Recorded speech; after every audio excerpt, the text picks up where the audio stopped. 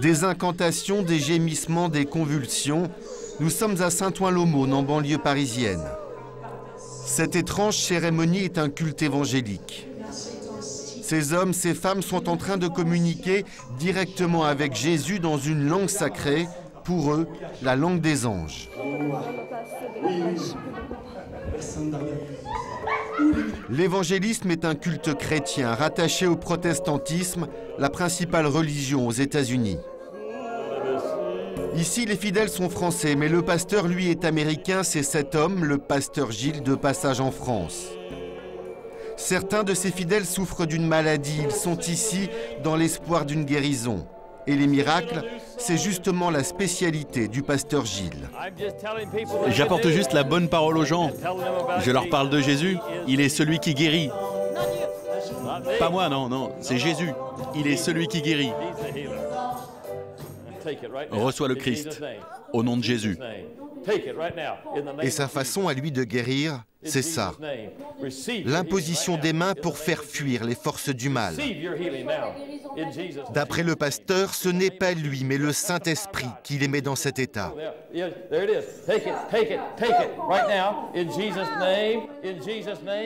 Et voici le début de la guérison. Les évangéliques considèrent que leurs péchés sont à l'origine de leur maladie. Pour certains d'entre eux, les médecins ont baissé les bras, mais ils sont sûrs que Jésus peut encore les guérir. J'ai des rhumatismes dans les mains, mais j'ai pas mal pour l'instant. Je crois, je crois que Dieu est à travers quelque chose. Je n'ai pas de douleur pour l'instant. Oui, venez, monsieur. Merci, Seigneur. Dieu, je crois que Dieu me guérit.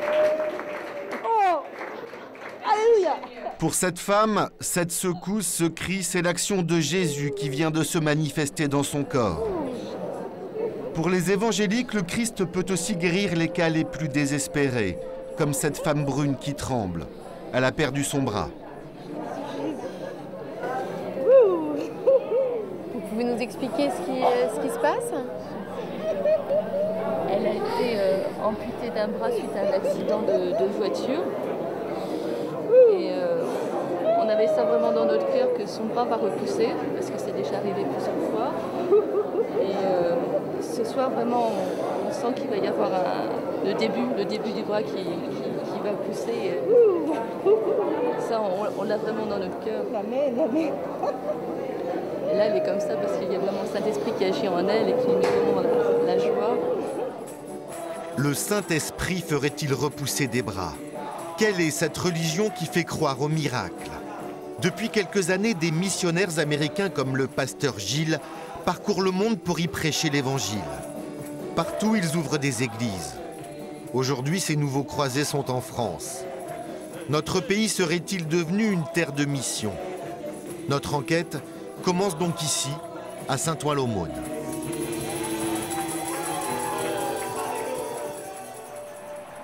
Cette église s'appelle Christ Lumière des Nations. Depuis un an, elle est installée dans cette ancienne usine de 2000 mètres carrés. Elle a été créée par un Français de 56 ans, le pasteur Marc Lebrun. Sa religion, c'est avant tout Jésus. Il y a quelque chose vraiment à vivre avec Jésus-Christ. Il y a vraiment quelque chose à vivre avec lui, parce qu'il est, il est toujours vivant et il est toujours là et il veut toujours euh, vraiment, euh, vraiment toucher les personnes, les guérir, changer leur vie. Dans les, dans les familles, les couples, les restaurer couples aussi, on a des grands problèmes de familiaux dans notre pays toucher les jeunes aussi. Les jeunes sont là, on les a vus dans les rues là, ces, dernières semaines. les jeunes n'ont pas de but, ils ne savent pas où ils vont. Et, Jésus-Christ veut leur donner un but à la vie, veut leur faire comprendre pourquoi ils sont sur Terre.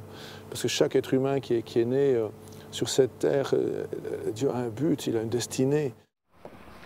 Le pasteur Lebrun, comme tous les évangélistes, croit que notre vie dépend uniquement de Jésus. Voilà pourquoi, dans une pièce de son église, ses fidèles prient à haute voix en marchant. Oh papa, merci pour cette journée. Merci papa pour ta bonté, ta fidélité de chaque jour. Ils parlent directement à Jésus qu'ils considèrent comme leur meilleur ami ou leur père. Les évangélistes ont une interprétation littérale de la Bible, ce qui leur donne une vision particulière de notre monde. On est en train de batailler parce que on, est- entouré d'un monde, de ténèbres. Et, nous, nous croyons qu'à travers nos prières, à travers notre foi, euh, nous, avons, l'autorité. Jésus nous a donné cette autorité pour repousser les ténèbres. Parce que la Bible dit que l'Église est l'appui et la colonne de la vérité. Et que c'est à travers l'Église que les ténèbres qui sont autour de nous vont être repoussées. L'église de Saint-Ouen-l'Aumône n'est pas qu'une simple église. C'est la base d'un projet bien plus ambitieux. Bon, ici, il n'y a personne en tout cas. Une salle de classe. C'est une des salles de classe ici. Ce matin, il n'y a personne. Car l'objectif est de former d'autres pasteurs et de fonder d'autres églises en France. Et pour ça, une logistique à l'américaine. Donc ici, nous produisons euh, l'école biblique étant 160 CD, 160 heures de cours. Donc ils sont mis dans des classes comme cela. Et le coffret coûte 695 euros, tout le coffret. Le but, c'est que une église locale, une communauté locale puisse ouvrir une école biblique dans son église. On n'a pas besoin d'envoyer les gens au loin, mais on reçoit l'école dans son église locale. Après cinq trimestres, on a un diplôme d'é- d'études bibliques et qui équivaut aux États-Unis à deux ans, euh, deux ans d'université. Mais pas en France. C'est- Non, pas en France, non. L'école est américaine, le diplôme est envoyé des États-Unis. Et le pasteur ne compte pas s'arrêter là. Alors ici, on est dans, ben, une, espèce de hall, une espèce d'espace. Mais ici, le projet, c'est de faire un studio de, télévision et de prise de son pour justement euh, eh bien, annoncer, annoncer tout ce message que nous avons, inviter des orateurs pour faire des émissions, pour faire des écoles. Euh, donc par la télévision et, envoyer nos émissions sur, euh, sur certaines télévisions chrétiennes ou non. Et euh, donc c'est un projet, c'est un grand projet, ça va demander beaucoup de finances, mais bon, petit à petit, on y arrivera. L'association Christ Lumière des Nations est rattachée à une église américaine. Son but est de promouvoir l'évangélisme. Mais pour l'instant, la paroisse du pasteur Marc Lebrun ne regroupe que 200 membres. Alors cet Américain, le pasteur Gilles, vient à son aide. Objectif, élargir le cercle des fidèles. Nous avons un souhait pour les Français qui ne connaissent pas encore Jésus. Peu importe qu'ils aient une autre religion, moi aussi j'en avais une avant. Mais je ne connaissais pas encore Jésus. Eh bien, nous souhaitons que les Français rencontrent Jésus. On n'est pas là pour dire que nous voulons que les églises évangéliques soient les plus importantes et que toutes les autres soient plus petites. Non, nous aimons les gens et nous voulons que tout le monde connaisse la personne de Jésus et le porte dans sa vie. On a déjà vu des centaines de milliers de personnes venir à Jésus et apprendre à le connaître. Le rêve du pasteur Gilles, convertir la planète. Alors, depuis plus de 30 ans, il sillonne le monde avec sa femme pour aider les prédicateurs à implanter des églises. L'une de ses armes, la communication. Docteur en théologie, il multiplie la rédaction d'ouvrages religieux pour diffuser la bonne parole. Mon premier livre s'est vendu à plus de 10 millions d'exemplaires dans le monde entier. Nous ne sommes pas pasteurs d'une église en particulier, mais nous formons des pasteurs pour tous ceux qui veulent apprendre à diriger une église n'importe où dans le monde. On a déjà été dans 80 pays. Pour comprendre la croisade du pasteur Gilles, nous sommes allés dans son pays, les États-Unis. Ici, les évangélistes sont majoritaires. 70 millions, le quart de la population. Le stade de San José, en Californie. En ce week-end d'hiver, 10 000 personnes sont réunies sous la bannière du Christ. Regardez bien, que des hommes, pas une seule femme dans l'assemblée. Elle pourrait, dit-on, détourner ces hommes du droit chemin. On les appelle les promesses keepers, ceux qui font la promesse à Dieu d'être de bons pères et des maris fidèles.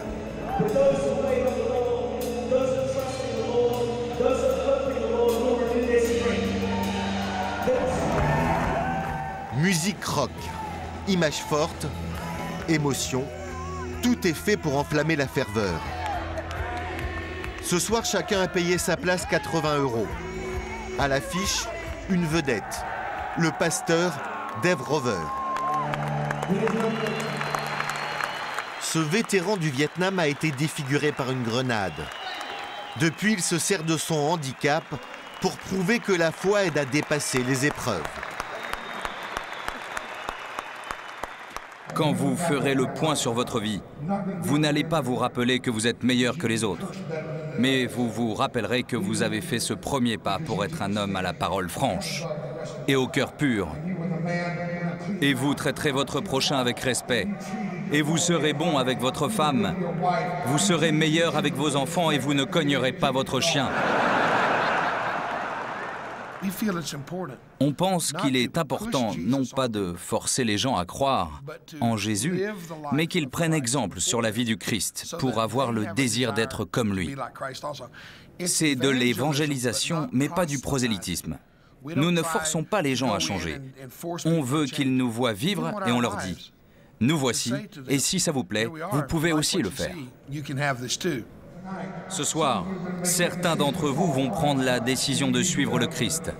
Vous devez savoir qu'il a promis que ce ne sera pas facile, mais il ne vous laissera jamais tomber. C'est garanti pour être sauvé ce soir. Êtes-vous prêts Êtes-vous prêts pour Jésus? Pour ceux qui hésiteraient encore, accessoire et mise en scène d'une vie cauchemardesque. L'homme enchaîné, alcoolisme, solitude, suicide, seule la religion libère les hommes.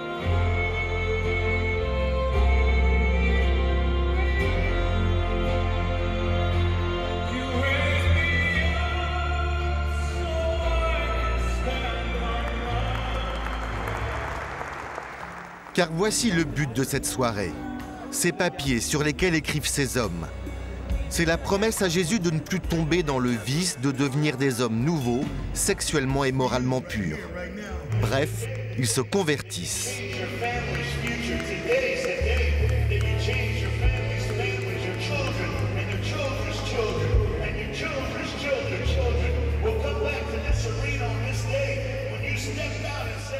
La soirée a été bonne. Les premiers skippers ont réussi à convertir plus de 300 personnes qui à leur tour persuaderont leurs familles, leurs voisins, leurs collègues de les rejoindre. Il y a un passage célèbre de la Bible, c'est Jean 3,16, qui dit Celui qui croit en la loi de Jésus-Christ sera sauvé. Je dis à tout le monde J'ai fait la guerre avec un M16 et maintenant je pars en guerre avec Jean 3,16. La guerre aurait-elle commencé le 11 septembre 2001 les attaques terroristes annonceraient-elles l'apocalypse, la fin du monde? C'est ce que pensent la plupart des évangélistes. Pour eux, Dieu punit une Amérique dépravée. Il faut réagir, combattre l'axe du mal. Après ce cauchemar, le monde prend conscience que l'Amérique a des valeurs chrétiennes qui influencent sa politique. Le monde découvre que George Bush est un born again, c'est-à-dire un chrétien régénéré par la foi. Ancien alcoolique, il est convaincu que Dieu lui a donné la mission de gouverner le pays le plus puissant du monde. Dans ses discours, il cite souvent la Bible. Je prie pour les enfants dont la vie a été bouleversée, pour tous ceux qui sentent que leur sécurité et leur vie sont menacées. Je prie pour qu'ils soient soulagés par une puissance plus grande que chacun d'entre nous, comme le dit du fond des âges le psaume 23. Quand je franchis un couloir de ténèbres, je ne crains aucun mal, car tu es près de moi.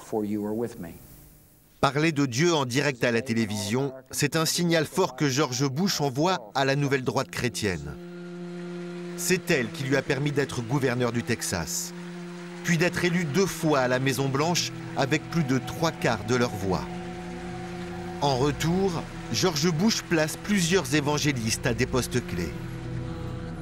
À la justice, à l'éducation, au Conseil de sécurité, à la santé, jusqu'à ces discours écrits par un certain Michael Gerson, auteur de la formule Axe du mal.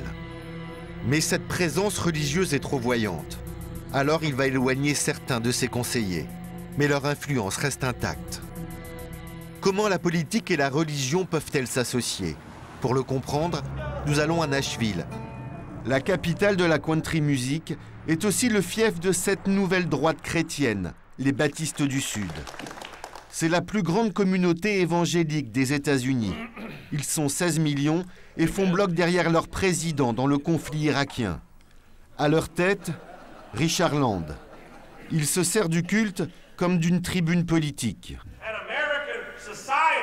La société américaine doit affirmer et pratiquer ses valeurs judéo-chrétiennes soumises à l'autorité biblique. Cela signifie un renouveau spirituel en Amérique où la majorité de la population se soumettra à Jésus-Christ pour vivre pleinement sa foi en lui. Une foi inébranlable, des convictions radicales. La direction à suivre est sans ambiguïté.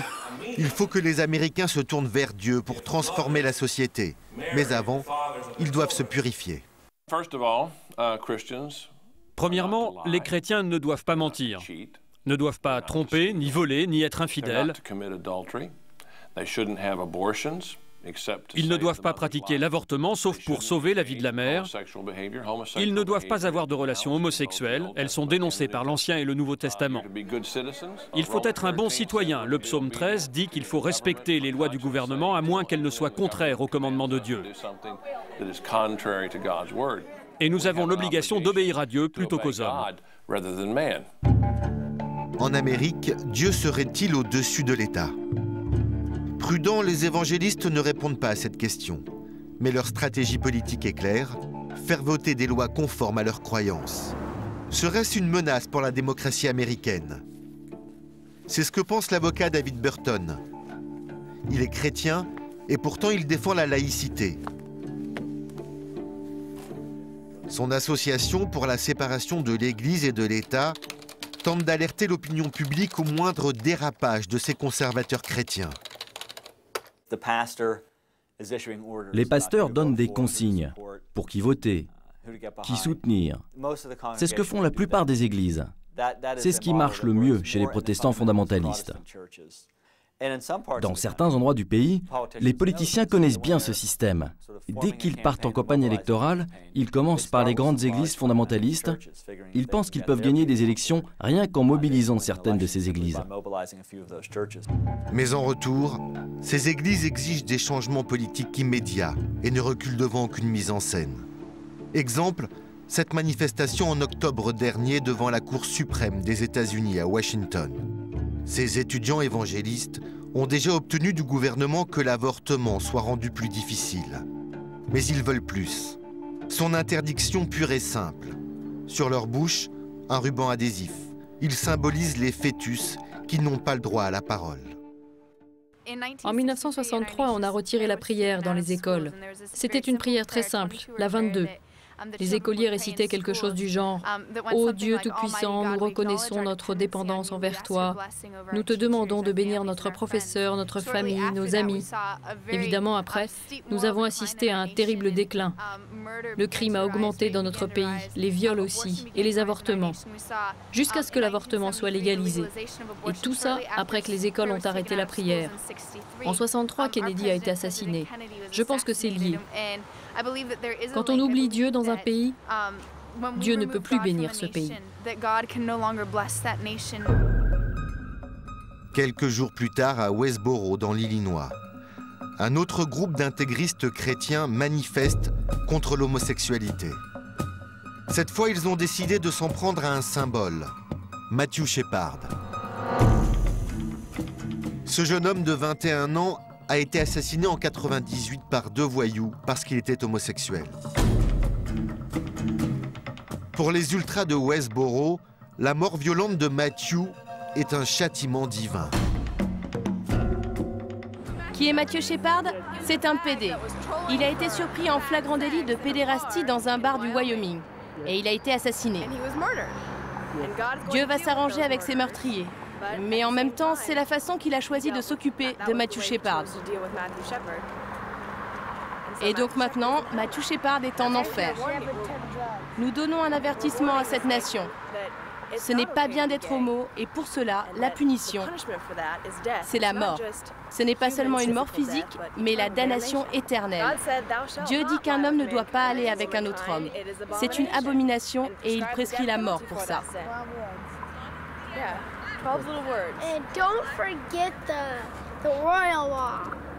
Ceux qui ont rejeté les commandements de Dieu se sont vraiment perdus. C'est pour ça que le pays est condamné. Je suis prêt à aller à chaque coin de rue d'Amérique dès que Dieu voudra m'utiliser. Je me sens béni et heureux d'être l'instrument de Dieu pour faire le tour du pays et dire aux gens que Dieu n'aime pas tout le monde et qu'être homosexuel c'est mal. Ces intégristes ne prêchent pas uniquement la haine de l'homosexualité.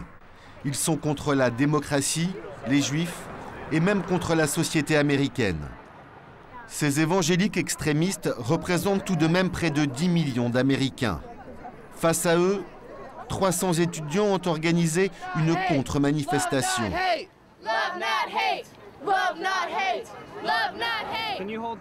Tu peux approcher cette pancarte qu'on la voit à côté de moi?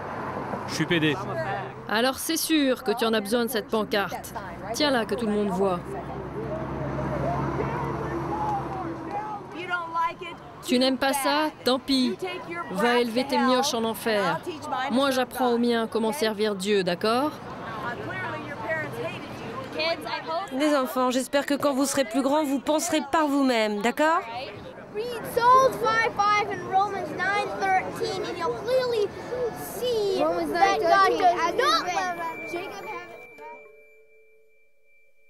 Ce discours de haine, tous les évangélistes ne l'approuvent pas. Linda Kerr appartient à l'église Foursquare, l'une des branches les plus modérées des évangéliques. Linda est modérée mais très convaincue de sa mission. Dans sa ville de Los Angeles, cette kinésithérapeute sillonne chaque jour les rues pour porter la bonne nouvelle. Il va revenir. Et quand Jésus sera là, nous voulons être prêts. Être prêt signifie accepter Jésus dans nos cœurs et confesser nos péchés.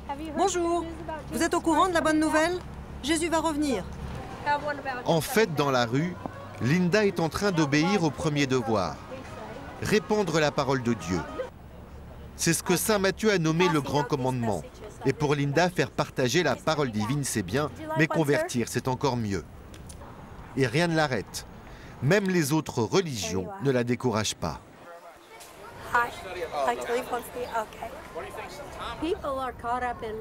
Les gens sont pris dans toutes sortes de religions et de croyances. Ou alors ils ne croient en rien, ce qui est vraiment triste. Parce qu'il faut se tourner vers Dieu. Qui que vous soyez, il faut prier pour quelque chose. Mais il vaut mieux être paumé que de choisir le mauvais Dieu.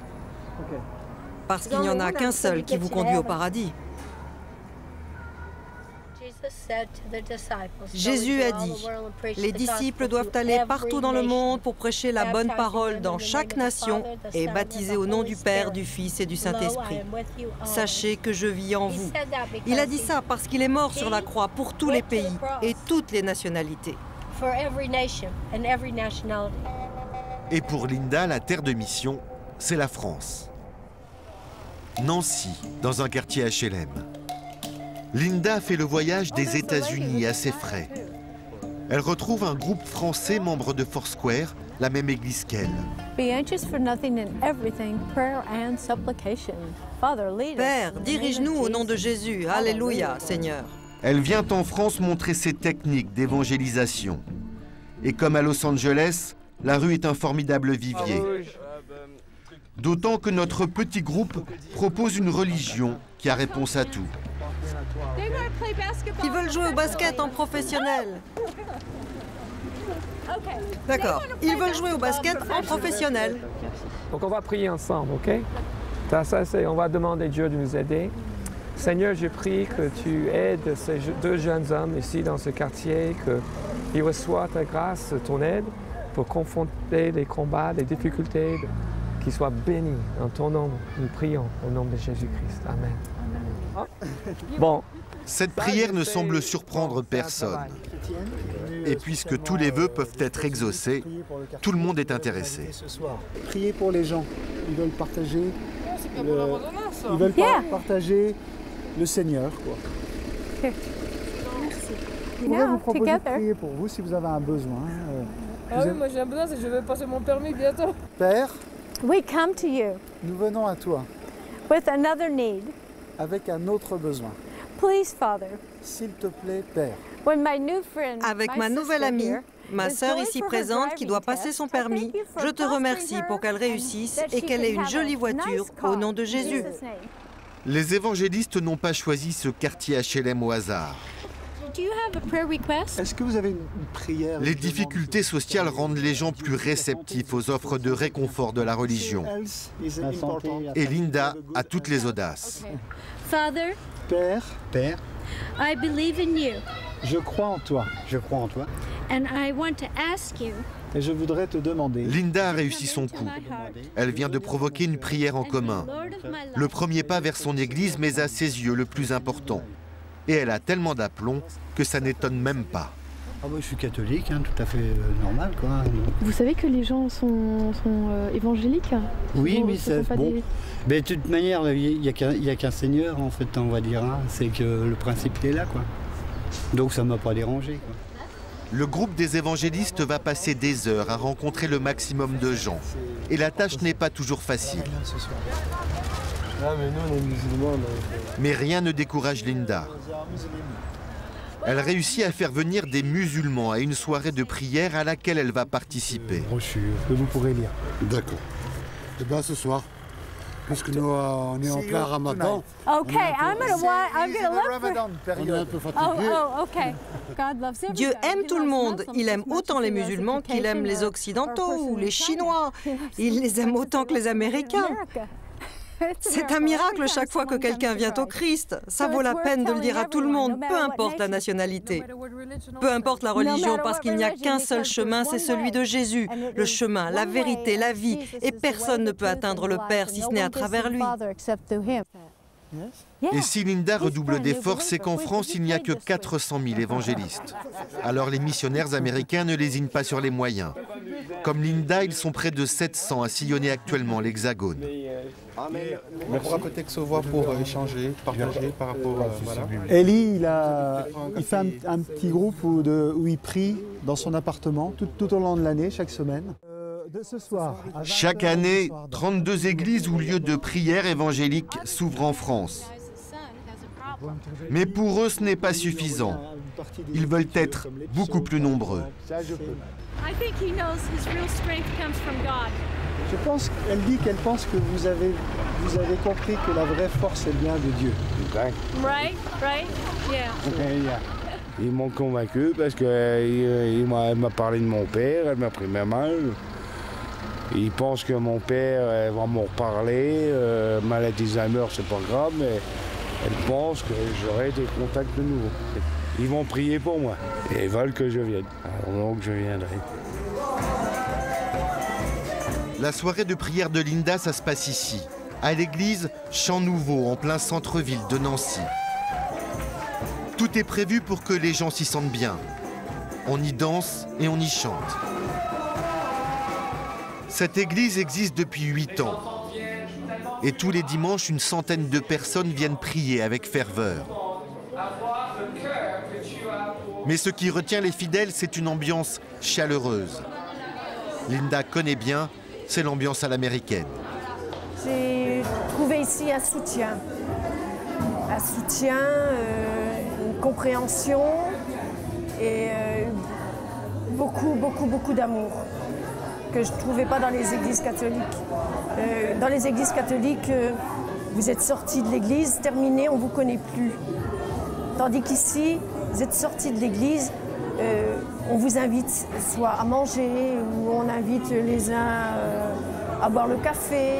Je suis euh, une ancienne alcoolique.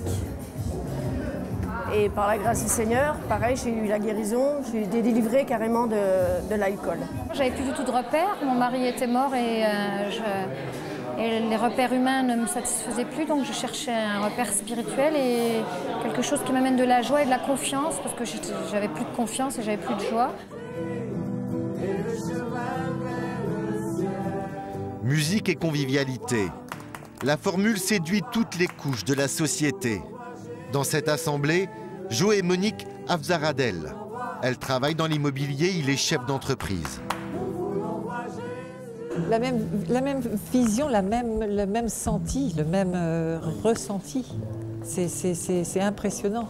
Et c'est là où je dis qu'il n'y a plus de, de questions de, de, couleur, de, de, niveau social, de quoi que ce soit. Et c'est extraordinaire, parce que ça, ça, moi, je n'ai jamais ressenti ça dans une autre église, hein, ça c'est clair. La famille Esvaradel habite un grand appartement dans le centre de Nancy. Monique s'est convertie il y a trois ans et demi. Elle était alors dans un moment difficile de sa vie et connaissait des problèmes de couple.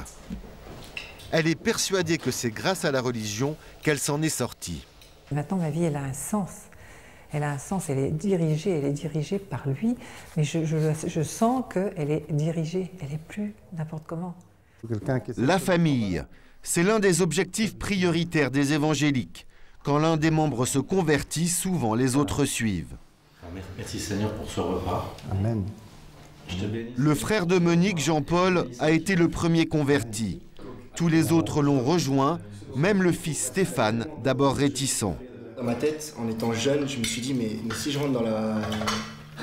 Si je rentre dedans, ça veut dire que je vais avoir plein de contraintes. Ça veut dire par exemple que je ne vais plus pouvoir sortir le samedi soir. Ça veut dire qu'il n'y a pas de relation sexuelle avant le mariage, il faut être clair. Euh, et, tout ça, ça m'a fait peur. Je me suis dit, mais, moi je suis jeune, je vois pas ma vie euh, déjà complètement faite où je me dis que je peux pas faire ça, ça, ça. Alors en fait, c'est pas ça. Dieu veut simplement qu'on se rapproche de lui et qu'on essaye de faire le, le maximum, enfin tout ce qui nous paraît le plus juste.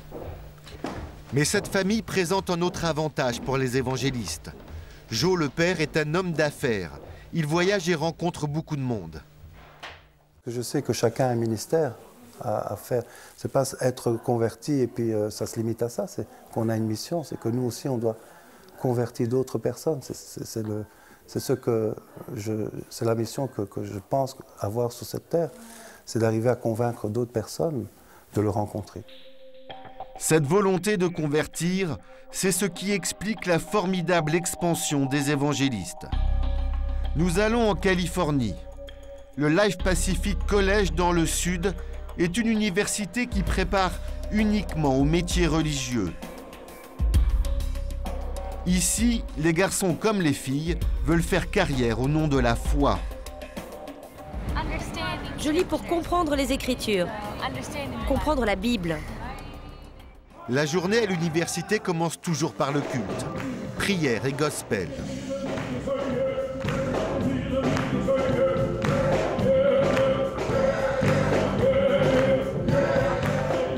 Créer une ambiance chaleureuse, ça ne s'improvise pas. Ça a l'air naturel, mais c'est un métier.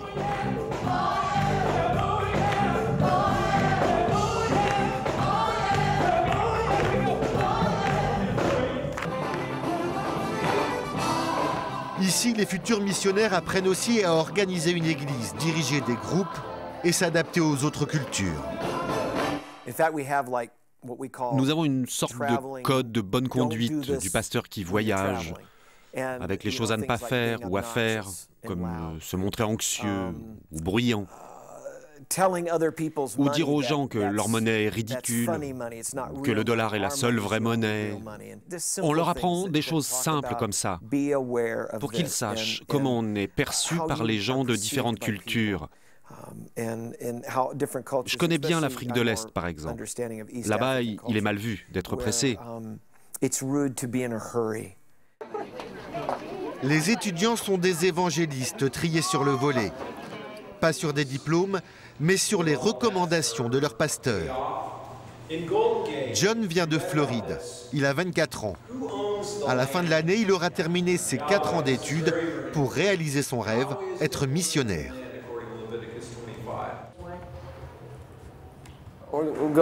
Allez, on va voir le gymnase. Regardez comme il est beau et bien équipé. Un gymnase moderne. Tout est prévu pour que les étudiants s'épanouissent. Mais un tel confort a un prix, environ 15 000 euros l'année d'études. Et voici l'un des lieux stratégiques de l'université. Des salles exclusivement réservées à la musique, un atout essentiel pour les évangélistes. Alors ici, c'est notre euh, studio d'enregistrement, avec tout l'équipement informatique, alors il y a des micros et toutes les machines qu'il faut pour produire des CD. La musique, c'est important pour vos missions chrétiennes La musique est très importante pour les missions chrétiennes. Je crois que c'est Napoléon qui a dit un jour, Si vous voulez changer une personne ou changer la culture d'un pays, changez sa musique.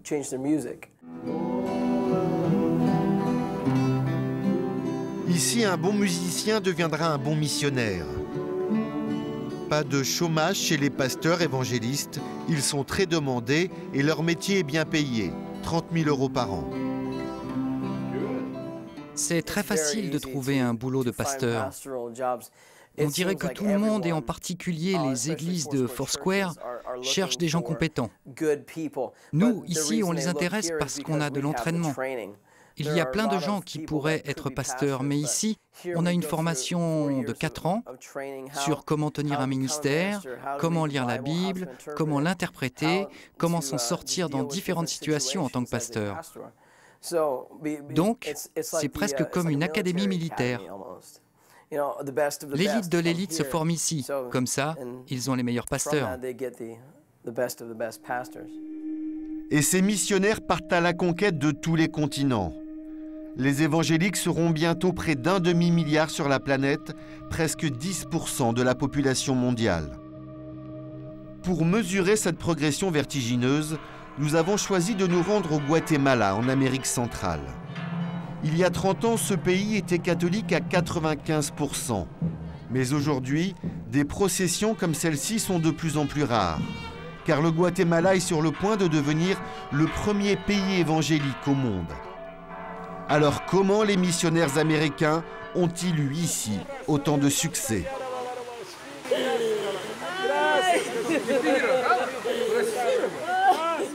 Le spectaculaire, une méthode toujours efficace. Même les baptêmes sont un spectacle.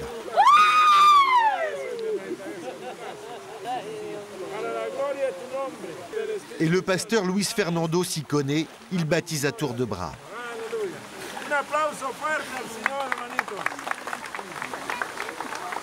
Dans cette église de Guatemala City, une centaine de fidèles attendent de prendre le bain rituel.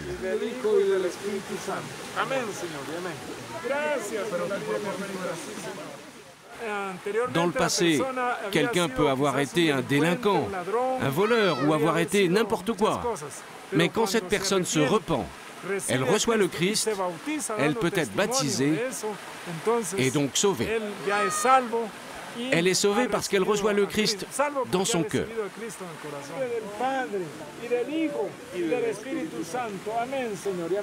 Et à la clé, cette église promet des miracles. J'étais catholique et ma vie a changé. J'étais stérile et le Seigneur m'a guéri.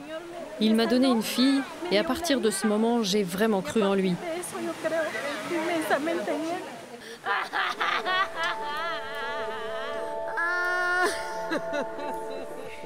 Chaque année, le pasteur Luis Fernando baptise plusieurs milliers de personnes.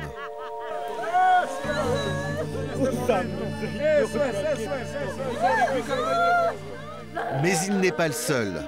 Au Guatemala, les évangélistes américains ont imposé leur style, comme dans cette église. Le pasteur Cash Luna les a bien compris. Sur leur conseil, il a construit la Maison de Dieu, une super église de 3500 places. Avec sa femme, il dirige le culte. Qué bueno es estar en la iglesia. Qué bueno es congregarse. Todos juntos en armonía, como dice la palabra. Lors de l'inauguration de sa super église il y a 4 ans, Luna a tenu à ce qu'un évangéliste venu des États-Unis le confirme dans son rôle de pasteur. Ya no te llamo pastor. There will be 13 altogether. Habrán tres en total. And God would say unto you, y el Señor te diré, I call you apostle. Te llamo apóstol. Du grand spectacle, mais ça marche. L'église du pasteur Luna a un tel succès que chaque dimanche, il doit assurer quatre cultes. A Dios hay que provocarlo, que hable. Ah, Dios no habla por hablar. ¿Usted cree que Dios anda gastando sus palabras, gastando sus promesas? Puissance de Dieu, mais aussi puissance de l'argent. Le pasteur célèbre la réussite sociale. Si on devient riche grâce à de bons principes, comme l'honnêteté, l'intégrité, le travail assidu, un métier stable et une bonne formation, alors la richesse est la récompense de toutes ces bonnes actions. Alors que la pauvreté, elle, est souvent, pas toujours, mais souvent la conséquence d'une mauvaise formation, d'un manque d'efforts pour s'adapter et aussi de négligence. Pour moi, c'est un péché. Beaucoup de gens qui venaient ici avaient des salaires très faibles. Ils ont écouté la parole de Dieu, son enseignement, et aujourd'hui ils sont propriétaires de leurs entreprises. Deux gardes du corps nous font visiter les lieux, une véritable entreprise. Mais l'origine de son financement, c'est top secret. 10 000 mètres carrés, cafétéria, infirmerie, bureau, 35 salariés et une centaine de bénévoles. Dernier chantier, des salles de classe avec enseignement gratuit pour 500 enfants des familles les plus méritantes. Des familles qui seront évidemment sélectionnées par le bon pasteur,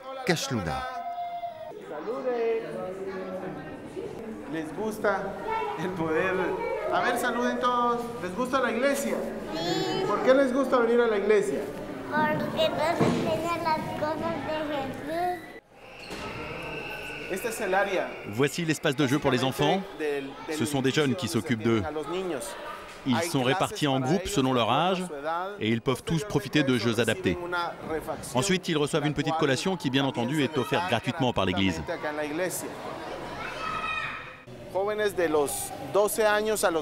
Les jeunes de 12 à 16 ans ont un espace réservé. On leur a aussi préparé des activités spécifiques. En ce moment, ils sont en séance de prière et d'adoration de Dieu. On va voir comment ça se passe.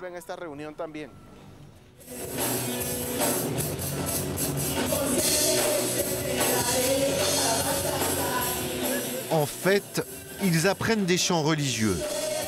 Une ambiance de fête avec un objectif, inculquer la foi dès le plus jeune âge.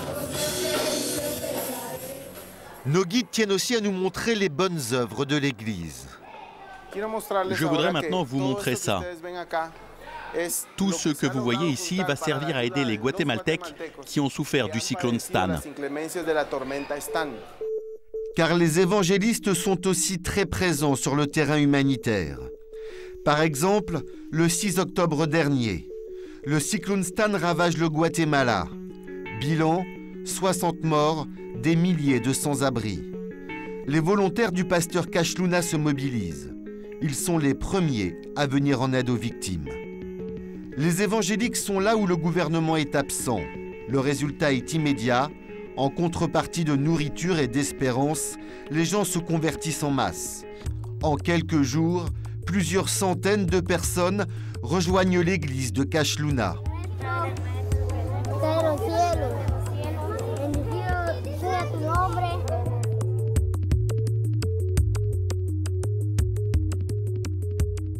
Nous sommes une église de gagnants. Au Guatemala, les gagnants, ce sont vraiment les évangélistes. Il ne reste que 650 prêtres catholiques dans le pays, alors que les églises évangéliques poussent comme des champignons. Aujourd'hui, il y en a plus de 18 000 avec autant de pasteurs. Par exemple, la mission biblique. Cette église de quartier a été créée il y a moins de trois ans.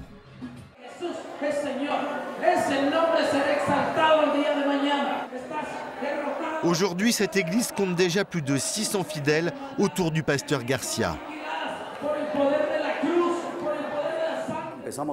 Nous avons commencé avec six personnes dans une sorte de garage, dans la maison de notre fils. Là, on a commencé à grandir. On est passé de 6 à 10, puis 15, 20, 30, 40, 60, et c'est vite devenu trop petit.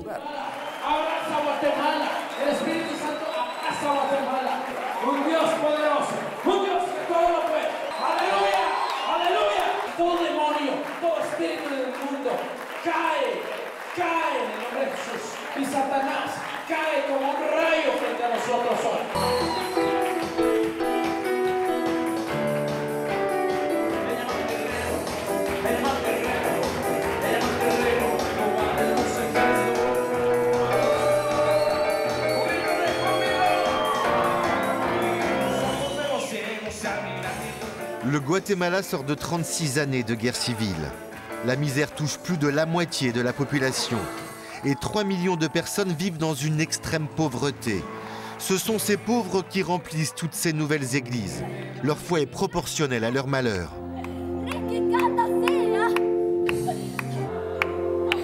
Pour certains, la religion est presque devenue la seule raison de vivre. Une nouvelle ferveur exubérante. Beaucoup de gens cherchent un refuge dans l'Église. Ils veulent apaiser leur âme. Les conflits familiaux, la rébellion des enfants, tout ce qui se rapporte à la famille, ici, ils peuvent trouver une solution. Ici, dans notre Église. En plus, quand les gens sont guéris spirituellement, alors ils voient leur famille bénie. Ils sont en paix avec eux-mêmes et ils peuvent partager ça avec d'autres gens, comme leurs voisins. Ça, c'est la stratégie pour gagner le Guatemala à Jésus-Christ.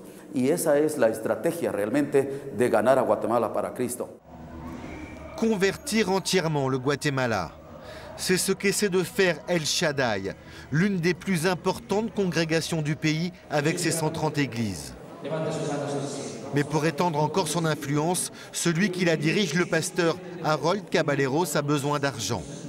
La force des évangélistes, c'est d'en parler sans complexe et d'aller le chercher dans la poche du peuple à chaque prêche. Dieu Tout-Puissant, nous croyons en toi. Nous avons confiance en ta parole.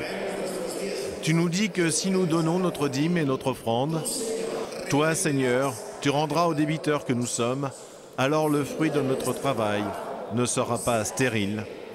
Amen. Et ça marche. Car ici, comme dans toutes les églises évangéliques du monde, les fidèles paient un impôt à Dieu, la dîme, le dixième de ce que gagne chaque paroissien. Il sert à financer les églises et à faire vivre les pasteurs. Au Shaddai, l'argent de la quête sert aussi à inviter des prédicateurs américains, comme aujourd'hui cette femme.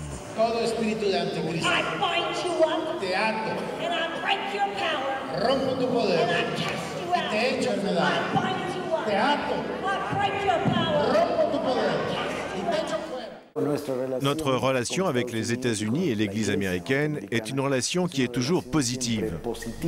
Vous savez que les Américains ont été les premiers missionnaires. Ce sont eux qui ont apporté l'Évangile au Guatemala. Les missionnaires américains surveillent avec intérêt ce qui se passe dans l'Église. Car l'ambition du pasteur Caballeros n'est pas seulement de changer la religion du pays, mais carrément de prendre le pouvoir, transformer le Guatemala en État chrétien. Et il n'est pas le seul à marteler cette intention.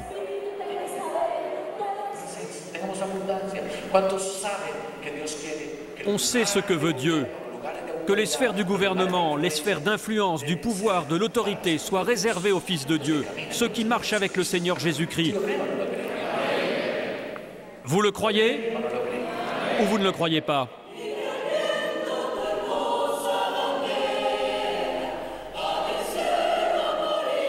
Ici, l'hymne national et le drapeau du pays ont déjà leur place dans la liturgie.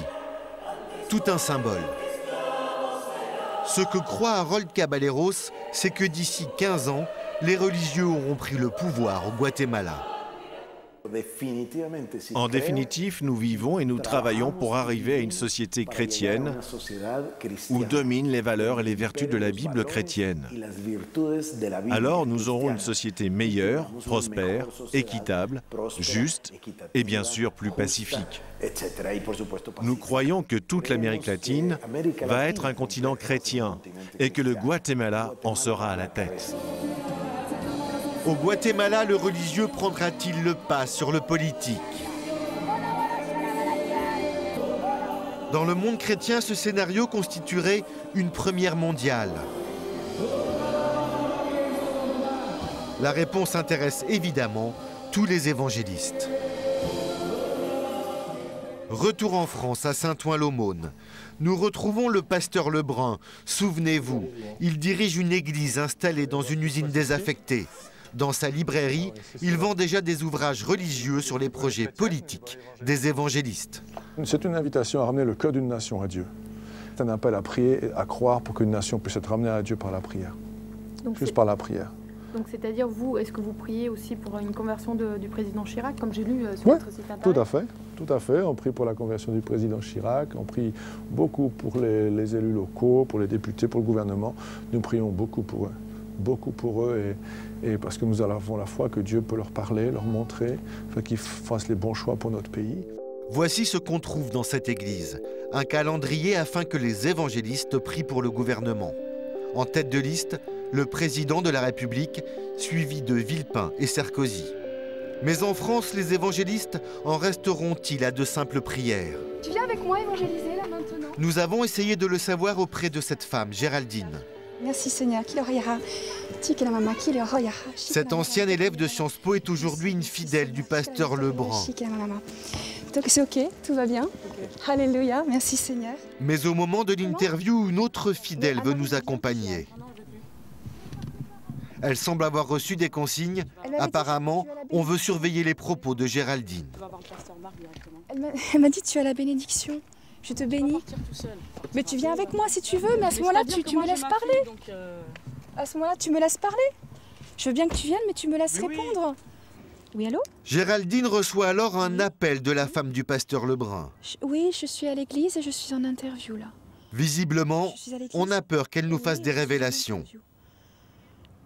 Il y a Alina qui est là. Je te remercie. Car Géraldine va nous annoncer une première en France. On intercède depuis des années ici pour qu'il y ait un parti politique chrétien. Il y en a un qui a été créé maintenant. C'est miraculeux. C'est le premier parti qui a été créé en France, un parti évangélique chrétien qui avance dans la vérité de l'évangile, dans la pureté de l'évangile. C'est quoi le but de ce parti? Témoigner des valeurs judéo-chrétiennes, témoigner des valeurs judéo-chrétiennes mises en application dans le politique parce que la Bible est un manuel de politique. Oui, il y a très peu de partis politiques qui a ce genre de vision en ce moment. Les familles en France sont éclatées, il y a beaucoup de divorces, il y a, il y a- il y a beaucoup de, de- de- de- de difficultés dans les familles, d'accord? Donc ce parti a, a une vision d'agir Arrêtez ça, ça c'est interdit. On ne veut pas ça sur la télé. Elle n'a pas le droit de parler du parti. Ah bon C'est le pasteur Lebrun qui vient d'intervenir. Pas aller demander à ton responsable pour ça, c'est interdit ça. Il faut, il faut vraiment effacer ça. Il ne faut pas en parler. Pourtant, ce parti existe officiellement depuis avril 2005. C'est le Parti républicain chrétien. Il compte quelques dizaines de membres. Son programme tient en deux lignes christianiser les politiques ou politiser les chrétiens. Les nouveaux croisés sont en mission en France et dans le monde entier. Ils forment des pasteurs, ouvrent des églises. Il faut vivre dans la foi. Leur progression dans le monde est fulgurante. On vient, on donne l'espoir aux gens. En Chine, 10 000 personnes se convertissent chaque jour. Il y a des gens qui ne savent plus où aller. Il faut que les gens viennent. Ici, ils trouveront l'amour. Au Brésil, ils sont déjà plus nombreux qu'en Amérique. En Afrique, en Asie, en Europe, partout les missionnaires sont actifs. Leur credo Pas d'avortement, Régénérer le monde. pas d'homosexualité. Ça arrive en France, ça arrive dans le monde entier, parce que Jésus est vivant. C'est aujourd'hui la religion qui progresse le plus sur la planète.